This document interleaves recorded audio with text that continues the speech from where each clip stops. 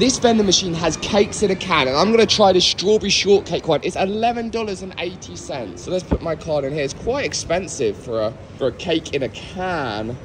Okay. Okay. Oh my. What am I supposed to. Ow. Beautiful.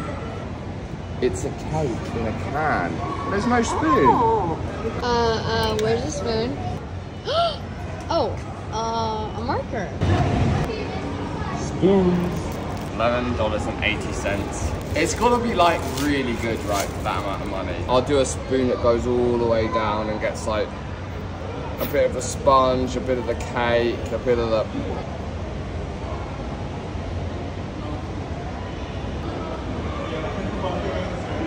Rated out of 10. Six out of ten.